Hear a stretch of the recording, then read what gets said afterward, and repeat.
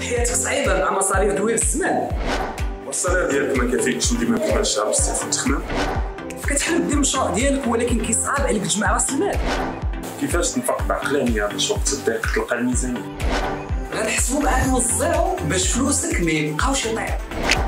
مرحبا بكم معنا في برنامجكم. كيداير مع المصروف كل نهار ابتداء من 6 العشية على راديو أصوات.